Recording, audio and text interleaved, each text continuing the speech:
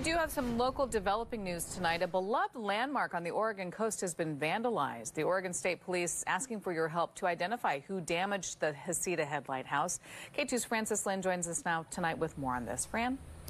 Deb, Oregon State Police says they are looking for these four people they say broke windows and spray painted the lighthouse buildings and signs along the trail. OSP says this all happened this past Wednesday on June 14th it's just a, a, a, a tragedy that someone would vandalize these these landmarks. The Heceta Head Lighthouse has been an iconic Oregon landmark since 1892. When people in Florence and Yachats and probably the entire state of Oregon come here on the coast just for this, um, and this is one of the most photographed historical sites in Oregon. The 62 meter tall beacon was even added to the National Register of Historic Places back in 1978 for its architectural and engineering significance. But on the night of June 14th, Oregon State Police say one of the lighthouse buildings was damaged with spray paint and signs along the trail from the parking lot were also affected. The Heceta Head one is 129 years old. It's an Oregon treasure,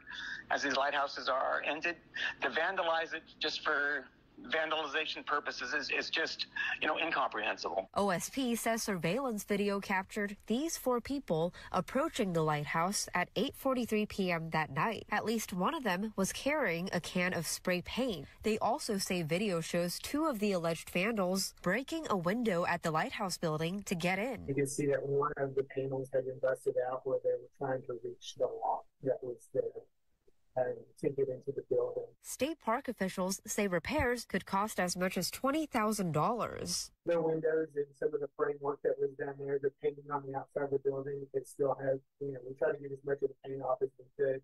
And it did. It, it, it helps to scrub down on it, but anytime you do that to a historical building, you do damage, just kind of clean it. I hope they find the people who did it and they prosecute them to the fullest extent of the law.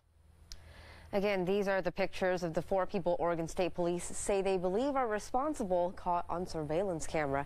If you recognize anybody, call police. Frances Lin, K2 News. Okay, Fran, thank you.